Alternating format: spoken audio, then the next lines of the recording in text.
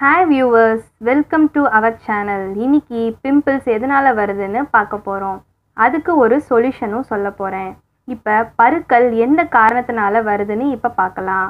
ஆண்களுக்கும் பெண்களுக்கும் ஒரு ஸ்டேஜ்க்கு அப்புறம் பருக்கள் வரும். அதுக்கான காரணம் நமக்கு ஏற்படக்கூடிய ஹார்மோன் சேஞ்சஸ் இது யூஷுவல் தான். அதிகமான ஃபேட் ஐட்டம்ஸ் சாப்பிட்றது ஃப்ரைட் ஐட்டம்ஸ் ஜங்க் ஃபுட்ஸ் இதனாலையும் பிம்பிள்ஸ் வரலாம். அடிக்கடி ஃபேஸ் வாஷ் பண்ணிக்கிட்டே இருக்கிறது. இதனாலையும் நமக்கு வந்து பிம்பிள்ஸ் ஏற்படுது. நம்ம பாடி ஹீட்னாலையும் பிம்பிள்ஸ் வரும். அதிகமாக கண் விழித்து வேலை பார்க்குறனால உடம்புல ஹீட் ஏறுது.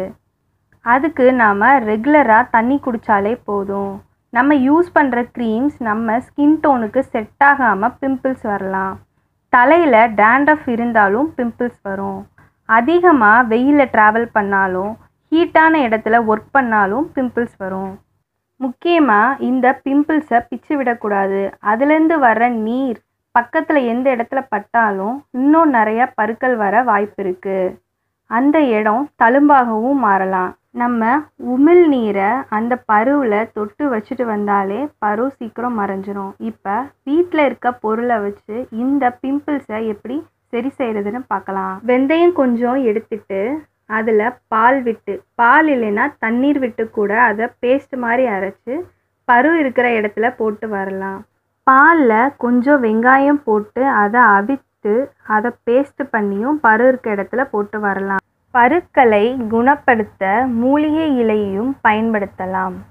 துத்தி இலையை சிறிது எடுத்து கொஞ்சம் தண்ணீர் விட்டு அதை அரைத்து பரு உள்ள இடத்தில் போட்டு வரலாம். ஆவார இலையை அரைத்து அதை வெண்ணெயில் குழைத்து பரு உள்ள இடத்தில் பூசி வரலாம். திருநீற்று பச்சலையை அரைத்து பூசி வரலாம். புனுகையும் எடுத்து பூசி வரலாம்.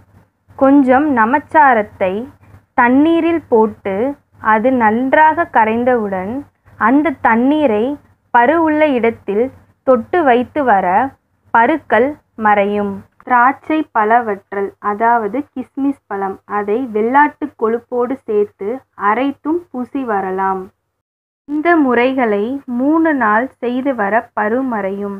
மேலும் தொடர்ந்து செய்து வர பரு வராமல் தடுக்கலாம். மேலும் தழும்பும் ஏற்படாது. இது போன்ற மருத்துவ தகவலுக்கு இந்த சேனலை மறக்காமல் சப்ஸ்கிரைப் பண்ணுங்கள் உங்கள் ஃப்ரெண்ட்ஸுக்கு ஷேர் பண்ணுங்கள்